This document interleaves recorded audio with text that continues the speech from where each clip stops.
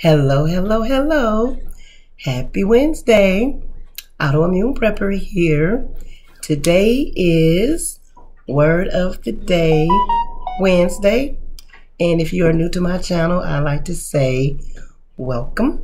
I also would like to encourage you to subscribe to my channel, hit the notification bell as well, so that you're notified when I put out new videos if you are already a subscriber, welcome back. I hope you enjoy Word of the Day Wednesdays. Now, Word of the Day Wednesday is where I choose a word and I share it. Excuse me, I have a throat licensure. Trying to help my throat. But it's where I share it with you all. I read from the dictionary and then I associate either articles or little story time associated with whatever the word of the day is.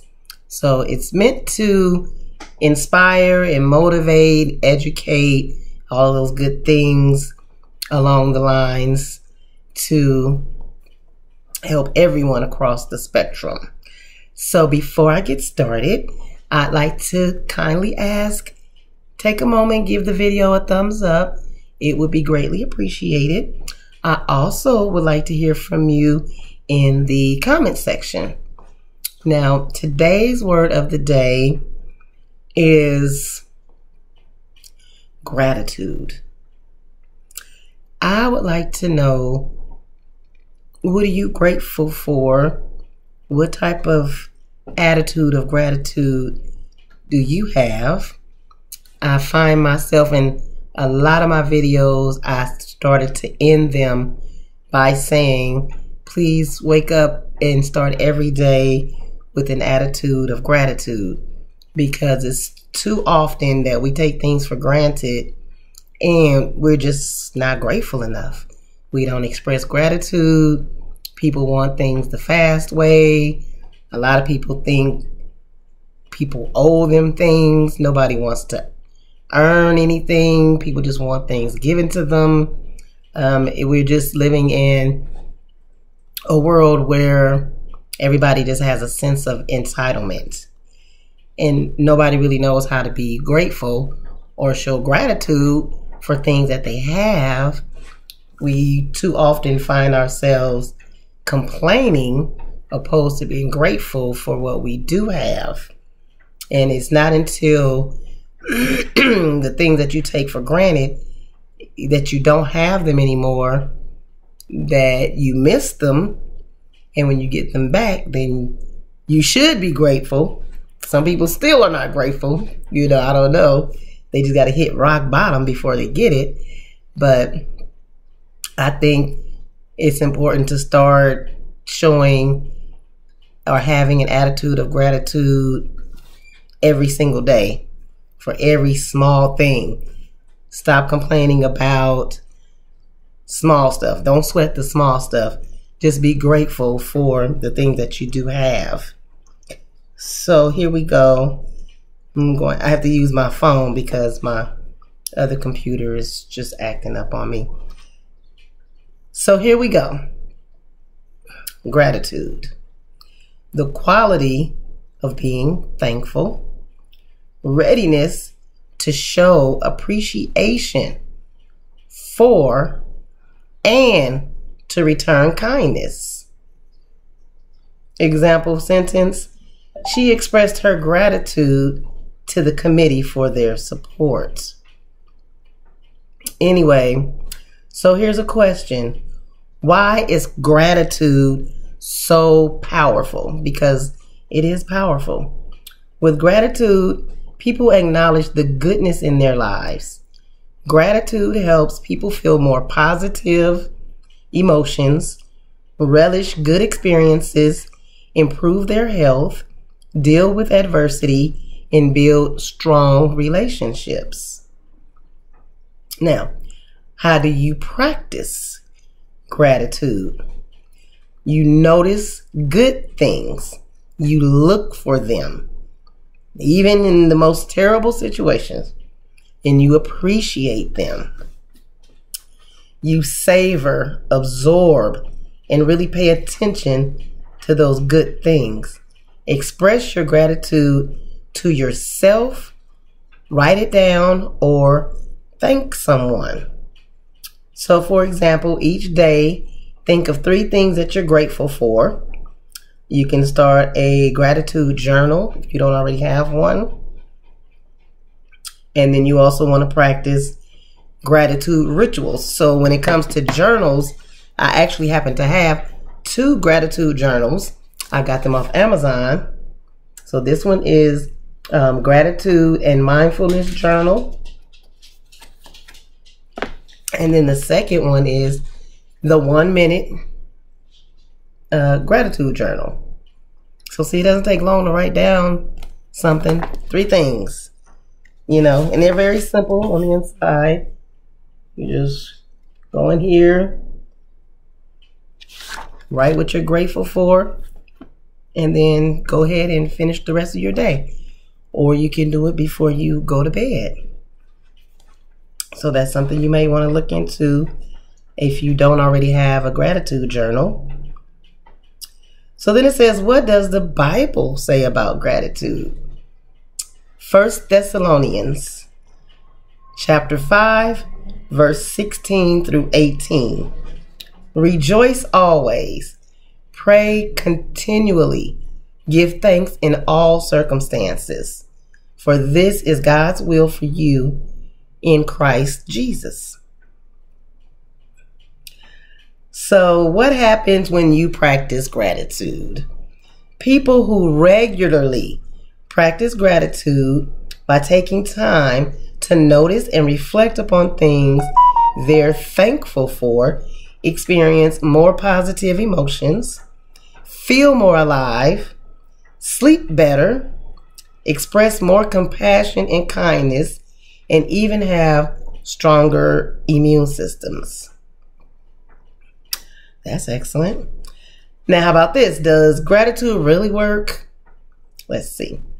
Another study showed that participants who kept a gratitude journal for 10 weeks reported having fewer health problems and spent more time exercising.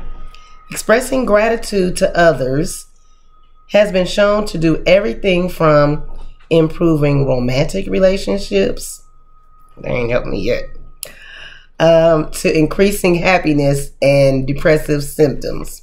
I'm just kidding, you guys. Uh, let's see. Can gratitude change your life? Gratitude can change your life because it makes you appreciate what you have rather than what you don't have.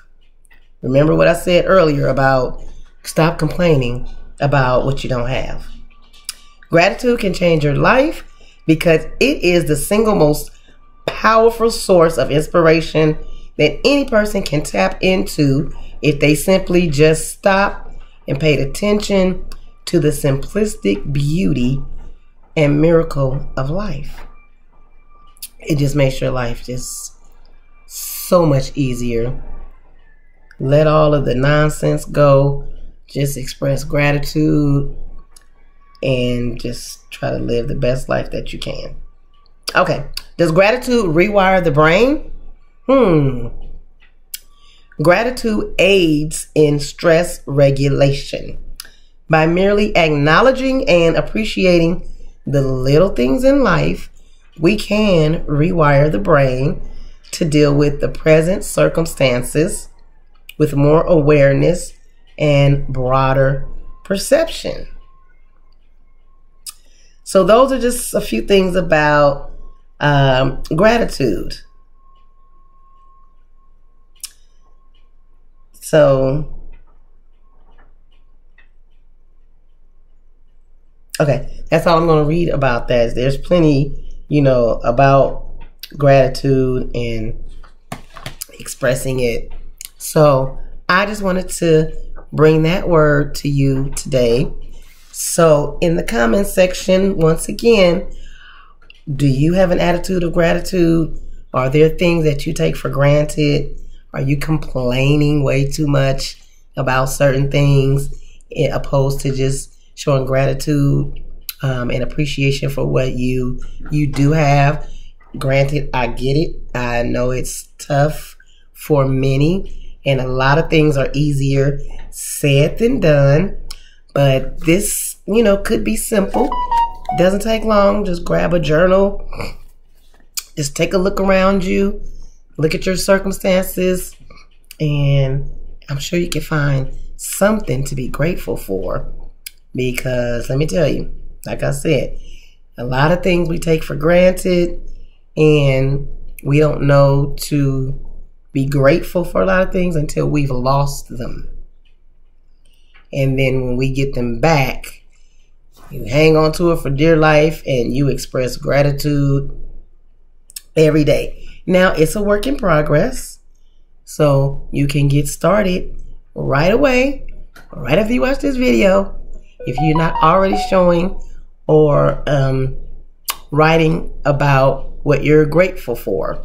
So grab you a journal and write in there three things, just three things. It's we always think of big things that we have to be grateful for. We can be grateful for the ability to see. Because by all means, we take that for granted. It's not until you've lost that ability that you are know that you know that you should be grateful for that because there are a lot of people who can't see this video. They can hear it.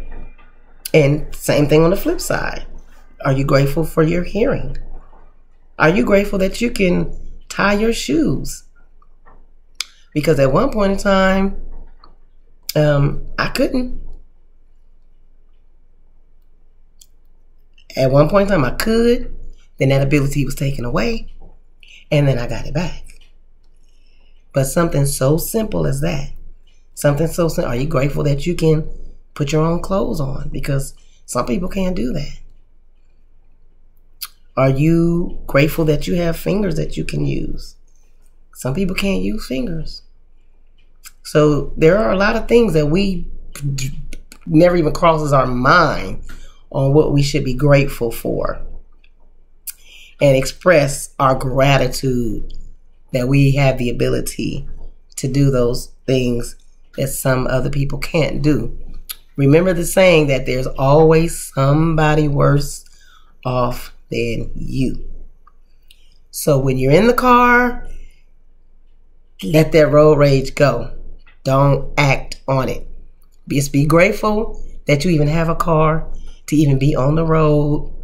If it's a lot of traffic, put on your favorite YouTube channel or your favorite radio station and just take your time to get where you need to go. Because a lot of people don't have a car. They have to get on get on public transportation.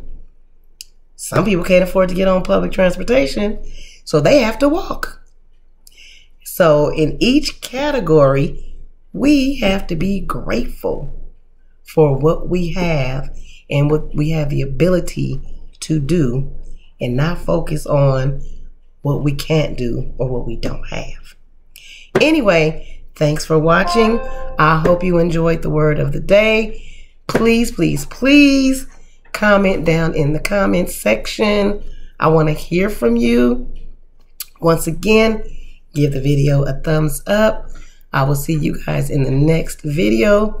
And I gotta say it, make sure you wake up and start every day with an attitude of gratitude. And get your journals. I don't know, you can just buy a, a book from Dollar Tree, but start writing down what you're grateful for. All right. See you guys later. Bye.